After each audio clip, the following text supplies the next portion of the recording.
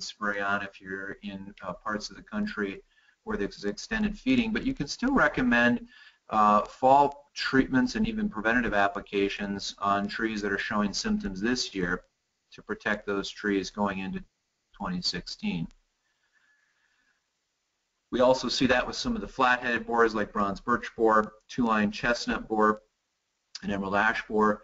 Uh, you can treat trees that are showing symptoms yet this fall with different treatments uh, to protect them going into subsequent years. And with the flat-headed borers, these actually fall into both uh, the categories of showing symptoms that you can make treatments to yet this year and also into uh, the category where you want to target these host species to make preventative applications for protection next year as well. Hemlock woolly adelgid, there's certainly a good opportunity to treat trees yet this fall. Hemlock woolly adelgid, given the life cycle of this particular pest, has two peaks where its uh, populations uh, can can escalate. One in uh, late winter, early spring, and then we also see another population spike uh, in late summer or early fall. So you can go out with different treatment options at this time of year to protect against that fall uh, population of hemlock woolly adelgid. Spruce spider mite uh, is another one, uh, cool season mite, and those populations are going to start to pick up once temperatures get below 80 degrees here this fall, and so we can target applications to coincide with the life cycle stage to really be effective in managing some of those um, spider mites on conifers. There's a few different aphid species that are out there that we run into at this time of year uh, that we can still manage, and then there are a number of scales uh, that we might see signs or symptoms of that we can still manage and protect trees going into future years as well.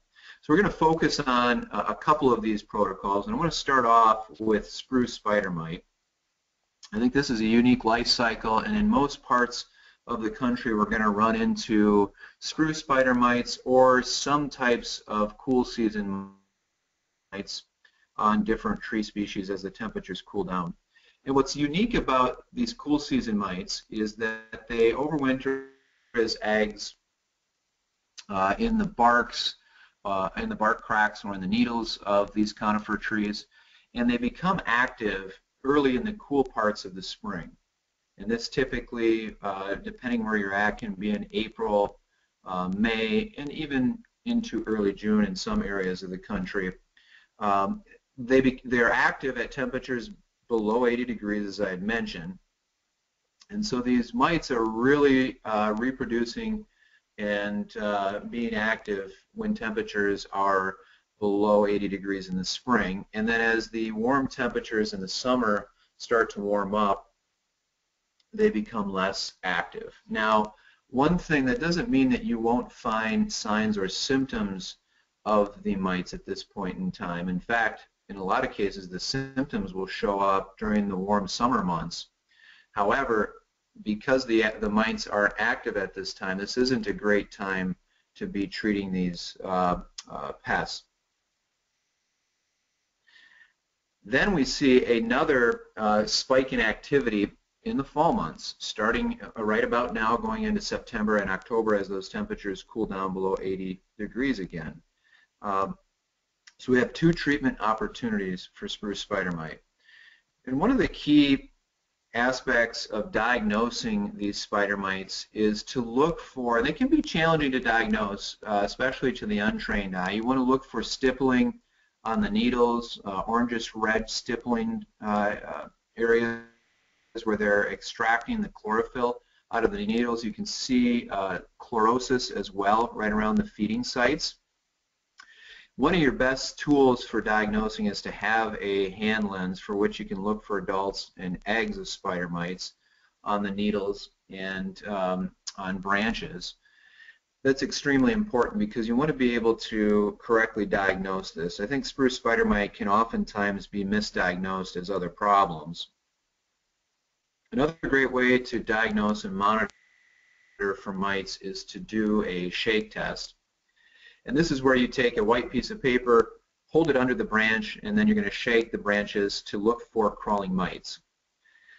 Typically, your predatory mites uh, or your spider mites, excuse me, are slow moving versus predatory mites, which actually are beneficials, which will feed on spider mites, are going to be fast moving. So fast moving dots are the predatory mites. Uh, the spider mites, which are the pests that you're trying to treat, are more slow moving. Um, there is some debate about doing a squish test and the coloration of the predatory versus the spider mites. If you read some extension uh, documents, they'll say that the spider mites, uh, when you squish them on your white piece of paper, will turn a certain color, sometimes green, uh, versus the other, uh, the predatory mites being a reddish color. So what you're trying to do with this branch test is discover if there is a threshold of mites that would require a um, miticide application to be made. And typically if you look at extension recommendations, and this is the one that we pulled right from Penn State, I thought they did a good job of outlining the steps for the branch test. More than 10 mites per branch would equal a threshold for treatment, so you want to consider treating at that time. It's extremely important, I think, to do the branch test because if you apply a miticide, you don't want to impact the predatory mites um, and the beneficial mites if you don't have a very high population of spider mites. Those beneficials may be able to um, control the, the pest mites uh, without making any application at all. So I think it's a sound recommendation to use monitoring for your mite programs. One of the things that I see that is confused with spider mite damage is um, uh, symptoms that are caused by Rhizosphaera needlecast. Uh, and typically you can see both needle cast fungi as well as spider mites on many of our spruce trees. Uh, spruce, especially Colorado blue spruce, seem to be littered uh, with spider mites, not as much uh, rhizosphaera as we have on white spruce. Um, but if you've got white spruce especially, uh, Black Hills spruce, you'll notice the rhizosphaera, in some cases the spider mites as well on the same plants. And it's important to educate your client about rhizosphaera because the symptoms that we're seeing uh, with rhizosphaera needlecast are typically showing up on the previous year's growth and a lot of confusion is uh, had in that homeowners uh, want people to come out and treat those symptoms. When in fact, this is an excellent opportunity with this fungus to go out and um, educate your client that the fungus is active on the new growth, even though you're seeing symptoms on last year's growth. This is a great opportunity to then recommend fungicide treatments for rhizosphaera, which have to be done uh, in the spring of the year as the candles uh, are extending on the spruce when new growth is coming out. So make sure that you are diagnosing the spider mites correctly and also recognize that there may be other issues going on. If we get into specific management recommendations, um, one key product that we're seeing a lot of use out there is with our Lepitect product. And this is a soil application that can be used to manage mites. It's also commonly used as a soil applied product for caterpillars and many other leaf feeding insects. Rainbow developed the EPA label for Lepitect in 2009 and it's really taken off as a great protocol for uh, doing soil applications with mites.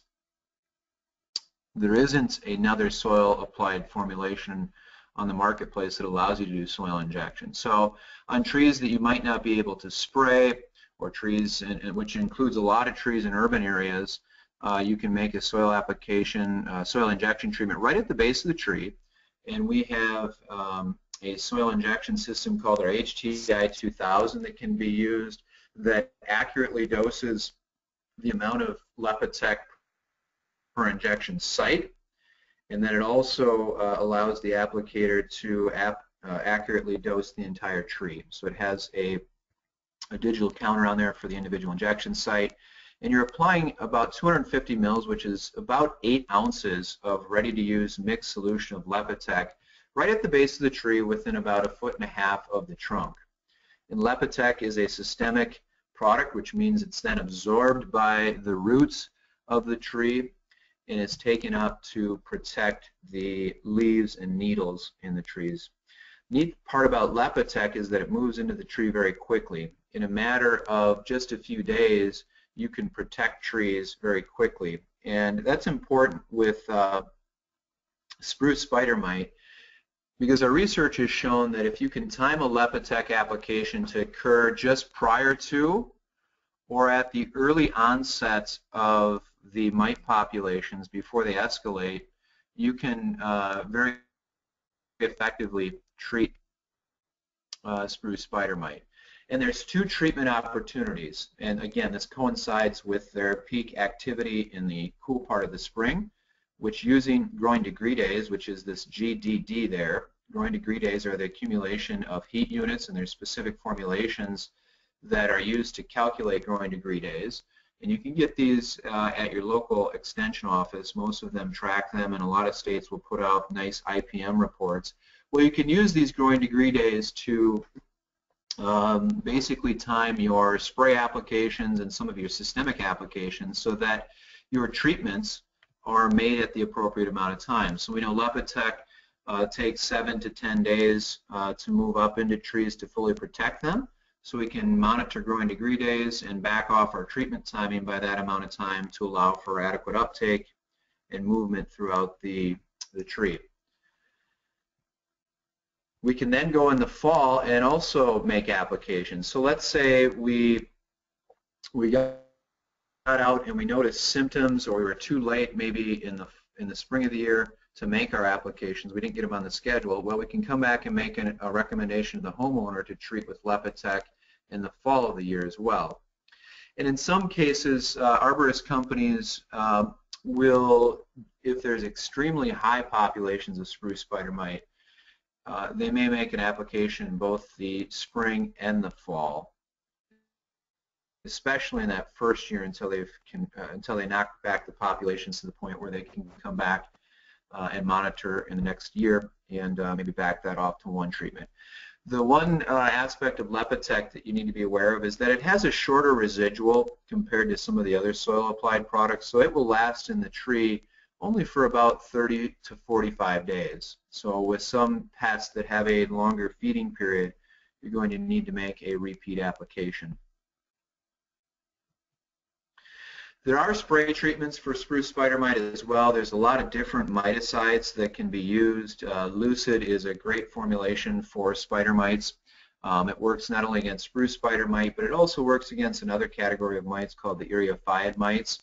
Um, and it can be applied again coinciding with growing degree days, trying to target the, uh, the early populations before they really build up in the tree.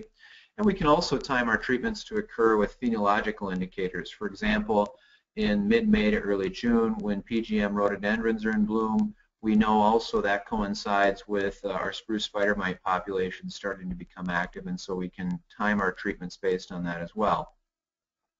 Horticultural oil can also be considered uh, to uh, for treatments as dormant oils uh, to control overwintering eggs. Um, the one thing you want to be aware of is that on blue spruce, uh, the horticultural oil can take the blue coloration out of blue spruce, and so we don't oftentimes recommend using the higher rates of oil on conifer trees, especially spruce. Um, so we want to be careful about that.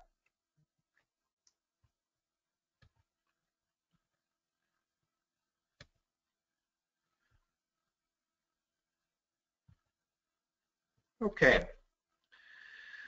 So let's now look at, uh, here's a data slide just showing uh, the treatment effects of Lepitect soil injection. And this was made uh, in early June of 2008. This was a trial that Dan Herms did at Ohio State University. And you can see that Lepitect performed uh, just as well uh, as Lucid combined with a horticultural oil as an adjuvant and Forbid, which are two common miticides um, and a one-time application of Lepitect uh, really knocked back the mite populations. So let's move on to the next pest here, which is bronze birch borer. Uh, bronze birch borer is a flat-headed borer, and it's a native borer that attacks uh, birch trees here in the United States. The bronze birch borer is a, a pest that pretty much can be found throughout most of the country, and it targets our non-native or exotic birch species. Himalayan birch, uh, some of the European, Asian birch species are really like candy for bronze birch borer. They're very susceptible to attack to bronze birch borer. Um, you'll oftentimes see uh, birch trees, especially in residential areas, uh, in urban areas, they're planted like this birch tree here in the photo in very dry areas. People will put them on berms, and birch like nice, cool, wet soil. And so it really predisposes these birch trees to attack by uh, bronze birch borer. In some cases, and we've seen this here locally in the Twin Cities, if bronze birch borer populations are very high, they can even attack some of our native birch species like river birch, which uh, typically are not as susceptible. But when planted in these types of locations, this is a property, southern exposure. You can see the turf is real crispy and dry here. Uh, there's no mulch uh, or very limited mulch right at the base of that tree. And you can see some of the uh, top on this birch tree already thinning and starting to die back due to bronze birch borer. Bronze birch borer, and I'll talk about this later and at the end of the talk, is a native wood borer that's attacking exotic uh, birch trees, and it's opportunistic, so it thrives on weakened or stressed trees. Typically that coincides with drought, soil compaction, perennially dry areas, uh, construction injury, and other uh, diseases and insects um, that are stressing them as well. And it's important to recognize that with some of these native borers because not only should we be recommending our insecticide treatments to directly combat uh, bronze birch borer and the pest I have here, two-line chestnut, but we should also be recommending different things that we can do to enhance the health of trees as well. So we'll talk about a similar insect here, and I'm going to group their management um, recommendations together because their life cycles are almost identical another flat-headed borer, two-line chestnut borer. Uh, it got its name because it did indeed attack chestnut trees, um, but as we know, most of the chestnuts have been uh, killed due to uh, uh fungal pathogen. Um, so its primary host of, of any market significance is the oak trees, and again, trees that are susceptible after drought, and especially construction injury in urban areas. I've noticed that um, two-line chestnut borer can come in and attack these trees. In areas where we have oak wilt, uh, oak blight, or some of these other pathogens that um, also weaken trees, uh, especially oak wilt on the white oak families like your bur oaks, uh, your white oaks, where oak wilt doesn't kill the trees outright as quickly as it does with the red oaks, those trees can be much more susceptible than to two-line chestnut borer, so you want to consider that in your management strategies. Oftentimes the symptoms of two-line chestnut borer, you're going to have this layering effect of healthy leaves layered with uh, symptomatic leaves in these areas, especially in the upper crown initially where the two-line chestnut borer are feeding. Of course, the larvae are feeding under the bark, uh, creating serpentine galleries. These larvae are very similar to emerald ash borer um, as flat-headed uh, borers, and they're going to be frass-packed um, and uh, those adults, as they emerge, both for bronze birch borer and two-line chestnut, we're going to have that very diagnostic D-shaped exit hole.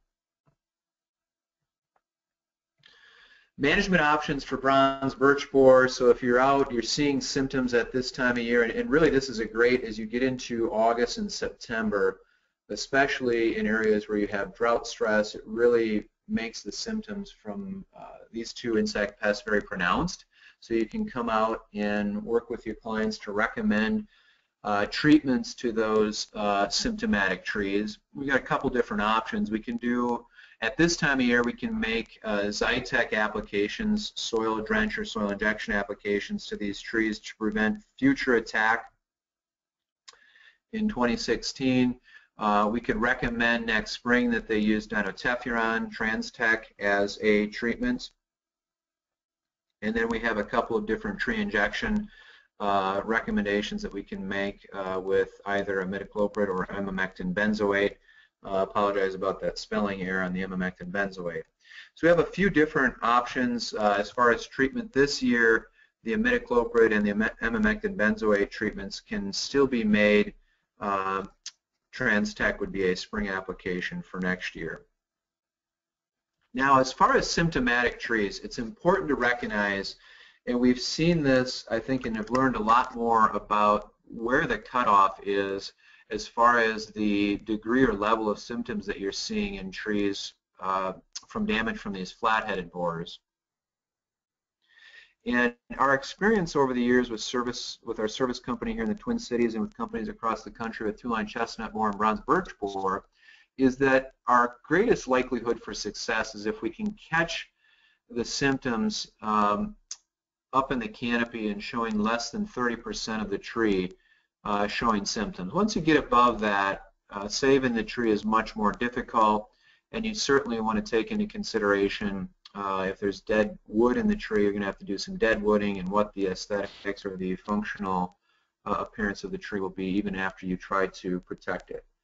Uh, the other key factor as far as an expectation, if you're going out making fall applications uh, with some of these systemic treatments, remember that a lot of the larval damage and damage has already been done this year, and that's going to, in a lot of cases, it could make the symptoms worse going into next year.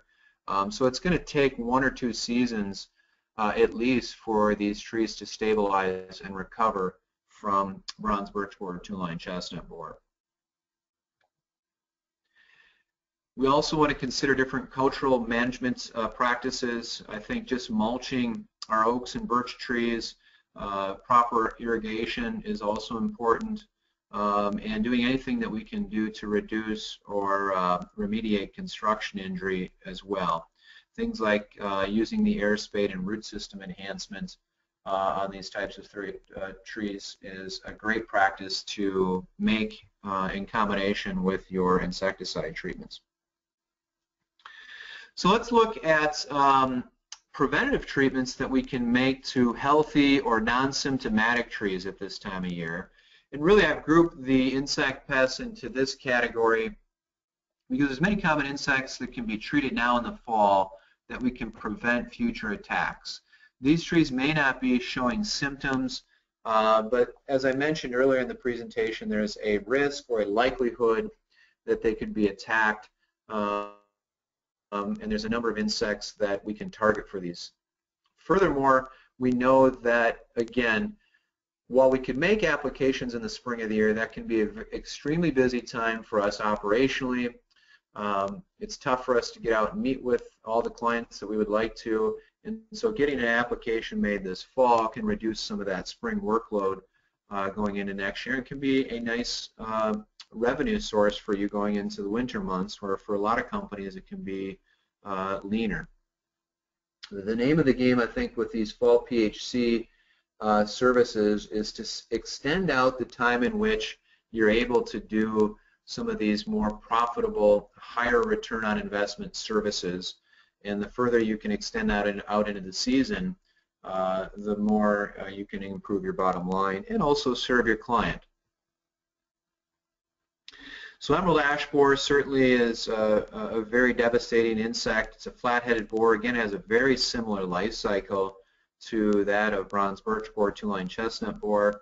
These are trees from a research trial that we did in Hazel Crest, Illinois, uh, showing just a graveyard of dead ash trees along the median. This was just a beautiful landscaping and uh, green canopy here prior to emerald ash borer. But what I wanted to show you here um, is just to dispel any myths that these insecticide treatments uh, are not effective. You have the tree here on the left-hand side of the picture that has been treated. Uh, this is a treatment uh, that, has been with emamectin benzoate um, multiple times over this uh, six-year trial and following the appropriate recommendations, dosage rates, and treatment timing, you can see very high levels of protection even under the heaviest pressure for emerald ash borer.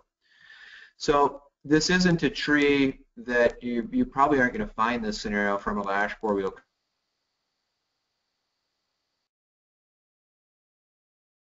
healthy appearing green ash tree like this. I, I, just wanted to bring this up so that you understand that treatments can be effective in managing EAB.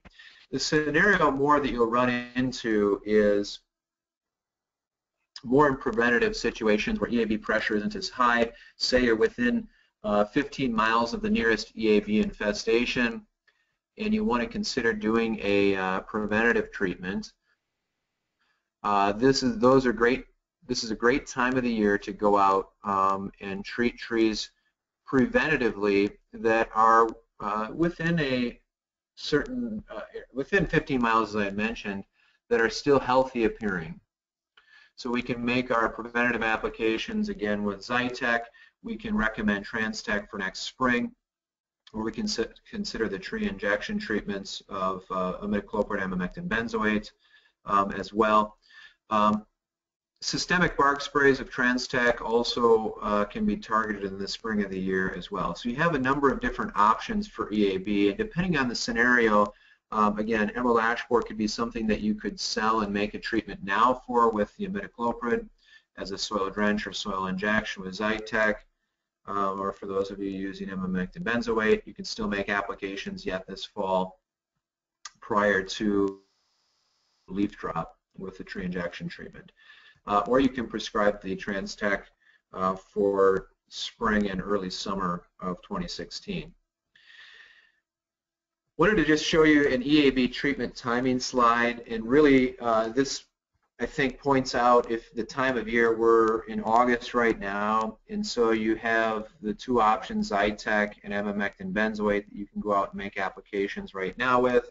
And the reason you can do this with Xytect is because it has a long enough soil half-life so that you can apply it this year, and you can go out and make applications starting in September, and apply, excuse me, apply Xytect until the ground is frozen. And we've seen in our research trials in Toledo, Ohio, that Xytect applications can be made in November and provide uh, very effective control in the fall for emerald ash borer, um, especially on trees that are 20, 25 inches and less. Um, and so you can really extend out the treatment duration and treat late into the fall with Xytect as a soil application. It's a very high return on uh, your, your man hours uh, when you're using this treatment. Very operationally efficient. You can treat trees in just a few minutes or less uh, very quickly, and Xytect is a good broad spectrum insecticide that you can use for a lot of other pests uh, for making treatments at this time of the year.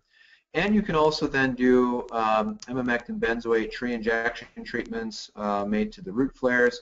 Here we recommend that you apply this prior to leaf drop so that you have the full complement of leaves that are transpiring and taking up the tree injection formulation so you get even uniform distribution throughout the tree. And then contrasting with what we talked about on Transtect, where this is more of your spring treatments.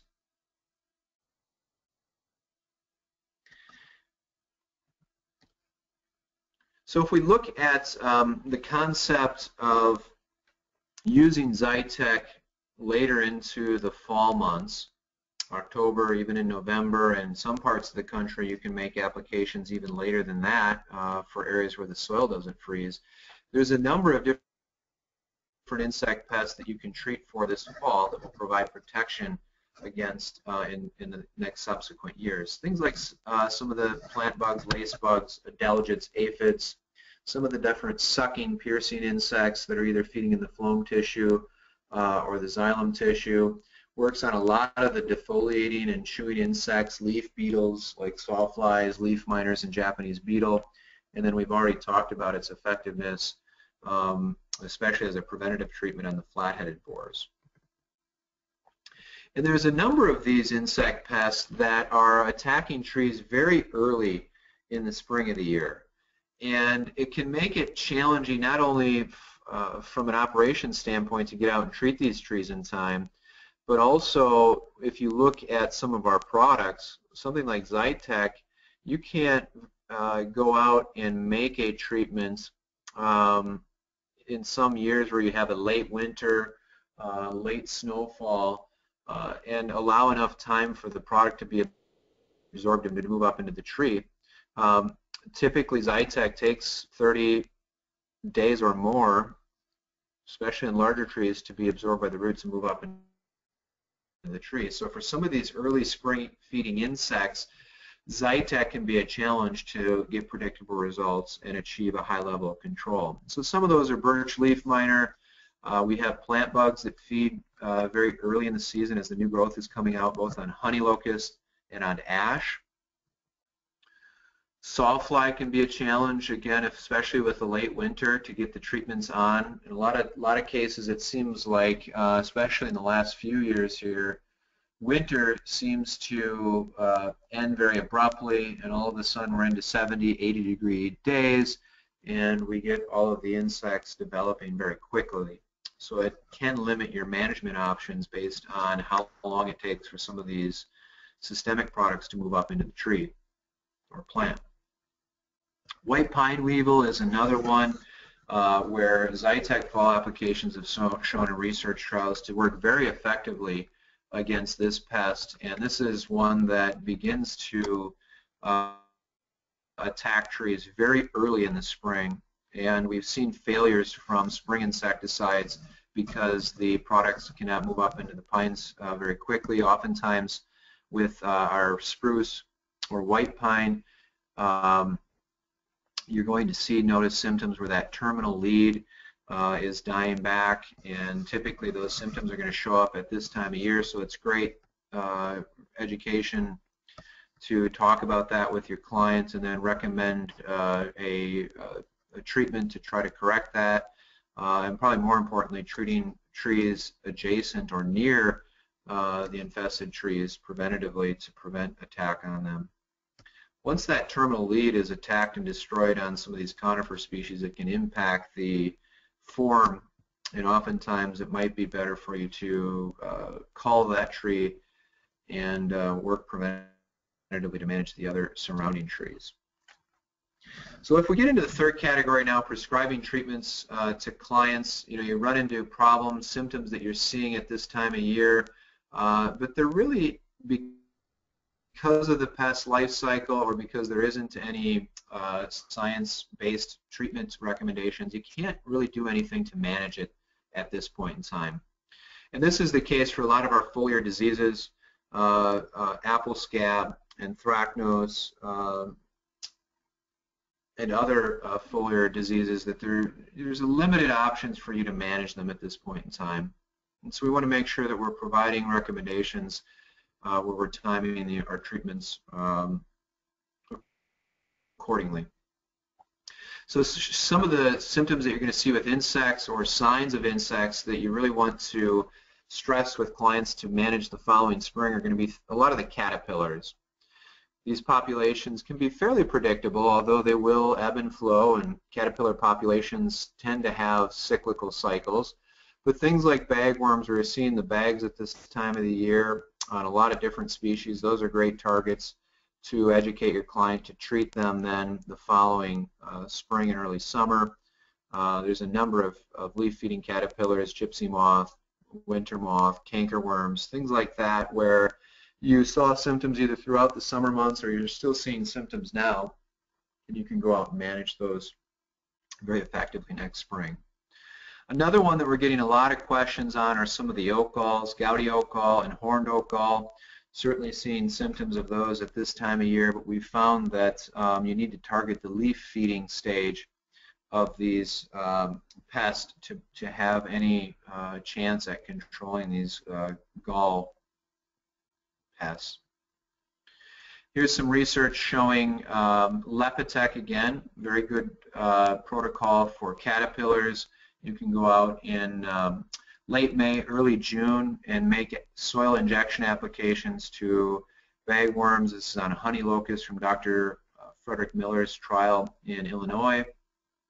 You can see here that we started to uh, observe uh, efficacy uh, July 25th, which was about uh, five weeks, uh, six weeks after the initial treatment was made, and that continued into uh, the season against bagworm. On gouty oak gall, we've done uh, a few different trials on this pest. Gouty and horned oak gall is certainly getting a lot of questions on these pests.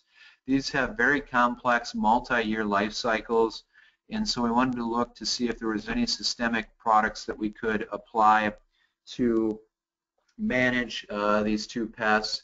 Uh, spray timing can be very difficult and challenging to, to time these treatments because they have short feeding windows in the spring of the year. And so applications made um, in, in late May, early June again with Lepitect, which moves very quickly up into the leaves and accumulates at high levels in leaf tissues, um, provided actually very promising results on swamp white oaks. Now these were smaller swamp white oaks and um, when we replicated this trial on larger trees, trees that were greater than 20 inches, we didn't see, see the same level of control. We certainly saw better control uh, than the untreated trees. Uh, and so I think there's some promise here. We have um, our management recommendations with these. If you're using Lepitect, we'll recommend to clients that they're going to have to treat for at least two, if not three seasons before they start to see trees reverse and stabilize uh, because of their multi-year life cycle and because the, the galls are so prevalent, it can take a couple of years for the new growth of the trees to come out and for the for the galls to be uh, completely controlled. But again, seeing better performance on smaller trees versus on the larger trees, but it does give us something that at least we can recommend uh, for gouty and also horned oak gall. Recognize there's a lot of oak gall species out there that can be caused by insects, mites, uh, viruses, fungal organisms, so it's important to properly diagnose um, the gall insect, which can be quite challenging.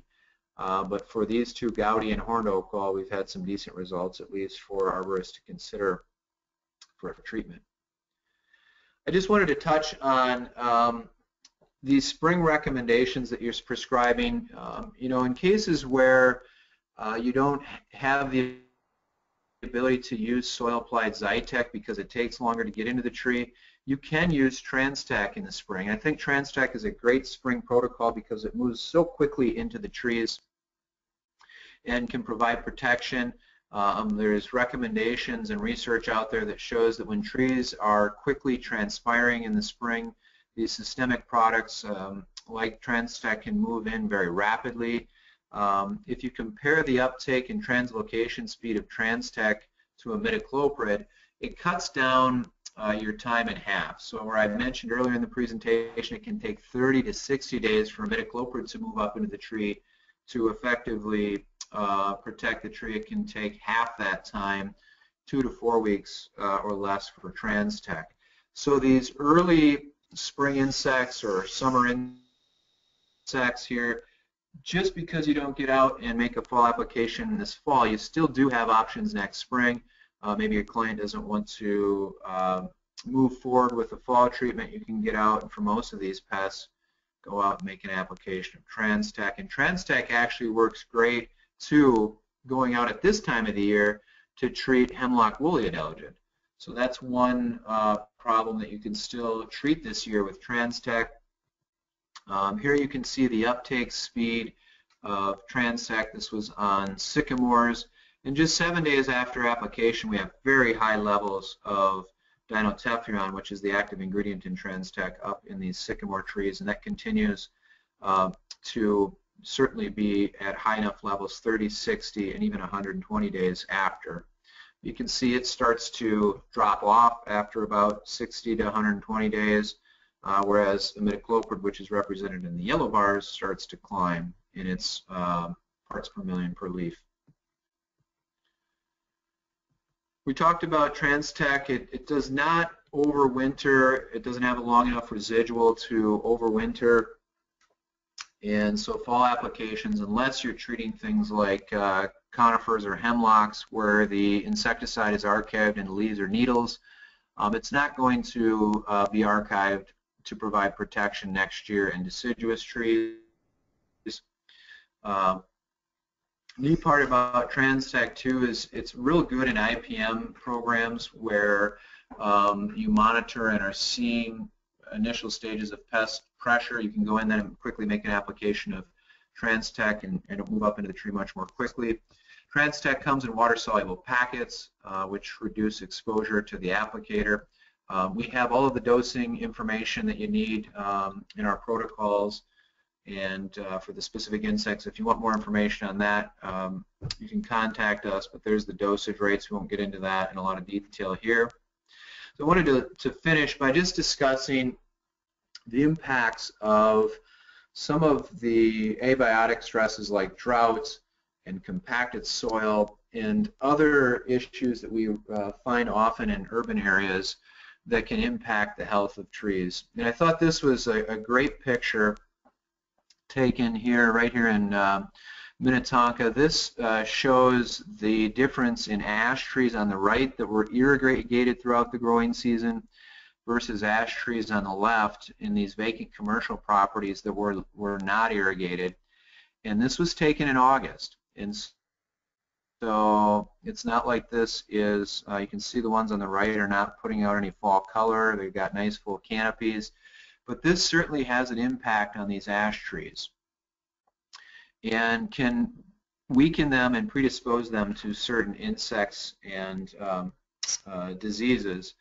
And the point here is um, not specific to ash, but in general where we have these weakened trees, certainly we can um, have a much higher likelihood for attack, especially by our native borer species. So native species prefer stress plants. So we talked about that, and we saw that with two-line chestnut borer and bronze birch borer. Um, in their attempts to infest healthy trees, in some cases, um, these these borers, these wood borers, and other insects may not be as successful um, in attacking healthy trees. And that's really because of the coevolutionary history of our native uh, wood borers with the native species. And you see relationships like bronze birch borer and river birch um, where they co-evolved. And so the river birch have developed some defense um, uh, chemicals or, or um, basically ways that they can defend off some of these native borers. Uh, sometimes they produce uh, phenolics and tannins and, and, different fluids to push out some of these borers. With pine bark beetles, with Ips species, we typically uh, can see uh, different uh, fluids and resins being used to push out some of these bark beetles as they attack. The opposite exists for exotic wood borers, like emerald ash borer. Even on this property here, emerald ash borer, what we see at low pep, pest populations, they have, may have a preference for attacking stress trees, but as populations build with emerald ash borer, they're going to attack healthy trees, small trees, large trees. It really doesn't matter to them. That's because our native ash species haven't developed any coevolutionary history to be able to defend off or ward off the emerald ash borer. Here's a list of the native versus non-native borers. Um, you see that pine bark beetle, bronze birch borer, and two-line chestnut borer are some of the natives, and these other ones on here are invasive pests with their host species. Just to kind of um, take that into consideration um, as your management. When you're managing these native borers on native host species, doing things to improve the tree's health is very important as part of your overall management strategy. So these stress trees are attacked more because they have lower sap volumes, uh, uh, you know, they have less starch reserves or they have to use more of those starch reserves to ward off these insects, and they have less energy to spend on defense compounds. So doing things to keep our trees as healthy as possible in urban areas, properly irrigating with soaker hoses, allowing them to, uh, to use water more efficiently by enhancing the root system with air spades. Um, going in and decompacting soils, creating a soil uh, suitable soil environment for root growth and development, uh, mulching with two to four inches of organic mulch, whether it's wood chips, um, as far out to the drip line and beyond if you can, helps to retain moisture and also create a, a soil environment for root growth and development. Um, using tree growth management tools like Cambistat to improve the drought tolerance increase fine root production, and, and provide some of the other benefits and increase chlorophyll that can improve tree health. And the nice part about Cambistat is that just like Xytect, you can go out and make a Cambistat application until soils freeze yet this fall. And so it's a great business opportunity and also a great way to begin the process of um, incorporating this in as a protocol as an overall strategy to help manage uh, the health of trees to not only better withstand insects, uh, but just to be more healthy and vigorous overall.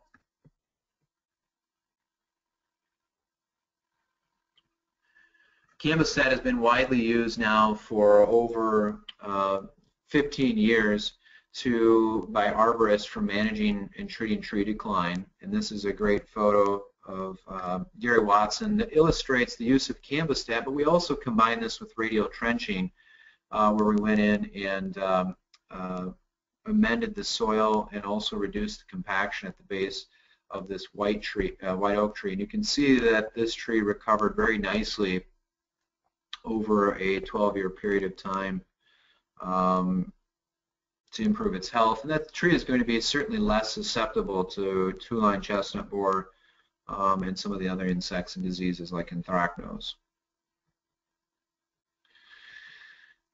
So just to conclude here, hopefully you've learned uh, some of the value of late season insect management recommendations for your client and can walk away now feeling confident in making some of those um, prescriptions to your customers.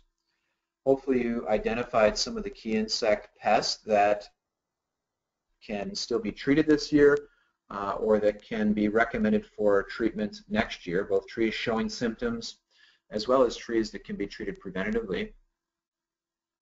Hopefully you learned a little bit about the management options and how tree health ties into the susceptibility of insect attacks in ways that you can reduce stress. One thing I wanted to bring your attention to, we have 15 different uh, fall field days that will allow arborists to really get their hands on and learn more about some of the management strategies. We're going to be focusing in on uh, the use of the air spade to do root system enhancements, and then also be training arborists in on um, some of these different fall protocols that we discussed here today. So you get your hands on the equipment, uh, you come out and meet with the arborologists and territory arborists in your area and get to see um, in person some of these hands-on demonstrations and learn more. These are free events that are half-day events that include CU credits and you can see the different locations uh, where these are occurring throughout the country. Um, so I'd encourage you to go to our website, learn more about that, and you can register online or contact um, our customer service uh, solution center at the 1-800 number that you see at the below of the screen here. One other thing I wanted to bring your attention to, there is a fall, uh, late summer, early fall opportunity guide that you can use that goes over. It's a great reference piece. It lists all of the different fall services that you can apply and some of the different key problems uh, for the trees and goes over some of the concepts that we talked about today in some of the previous webinars. And uh, you can request this uh, by sending a short email to info at treecarescience.com. I'm always available via email or you can contact me. My cell phone number is available for you if you need any tech support questions or if you'd like to chat about any of the concepts from this webinar or learn about any other uh, Rainbow solutions that we can have and work with you on. With that, I want to say thank you for your attention and time. It was great having you today, and um, I will look to see if there's any questions now at this point in time.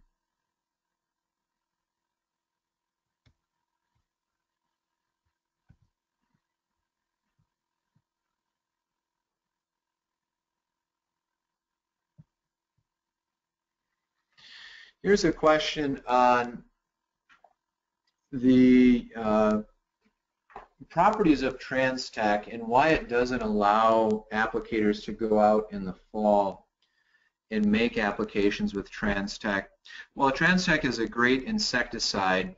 Uh, it doesn't have the same half-life uh, as imidacloprid in the soil. So you can't go out and make a fall application and achieve protection the following spring. Uh, furthermore, it doesn't bind as tightly to organic matter. And so you want to be careful in making applications and try to target the applications more when those trees are actively transpiring and taking up the, the active ingredient in the spring of the year. Versus with Xytect, you can make your applications in the fall due to the half-life and the residual time in which um, it's in the soil. And those the roots will draw in that product over time. Another question around white pine weevil, is this pest becoming more prevalent um, in parts of the country? I guess that's a good question. Um, what I've seen in reports from some of the extension research scientists, especially in parts like Ohio, other parts of the country, white pine weevil is becoming much more of a problem and more prevalent in the last probably five to seven, eight years, I guess. Um, I, I, we still don't run into that very often in Minnesota, um, but as you get into you know latitudes that are a little further south, like in the Chicago markets, Ohio around the Columbus, uh, and, and southern Ohio areas probably more so, uh, you start to see white pine weevil showing up a little bit more. I'd be interested if anybody else has comments on that as well, if, if white pine weevil is more prevalent, less prevalent, or the same uh, over the last decade or so. Okay. Uh, one last question here is in regards to the HTI 2000. Do you have to use that when making soil injection treatments with uh, Transtect, Lepitect, or Xytect? No, you can actually use, there's a variety of different soil injection equipment on the market that can be used for applying these products. Some companies have their hydraulic uh, soil injection probes that hook up to their tanks. You can, you can hook the HTI up to a hydraulic pump tank system that's truck mounted as well. But the nice part about the HTI is that it um, allows you to accurately dose with a very high precision how much product you're applying per injection site, and then because it has a counter on there their digital counter, it actually tallies the number of injection sites per tree. And we have our application guides that uh, specific ones for the HTI. So for a lot of our protocols, um, it very easily spells out how many total injection sites you need and your mix volumes uh, for the HTI. But you can use other soil injection systems. You just have to calibrate them to apply the appropriate amount of dose and uh, water that you're looking to apply um, to the tree per injection site and, and, for the tree in total. So, okay, uh, let's see here.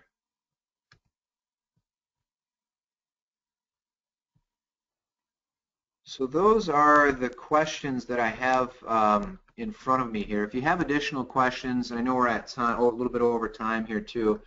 I can respond via email to any additional questions that pop up here, but I'll stay on for another few minutes if, if you have additional questions that you want to put out there. So,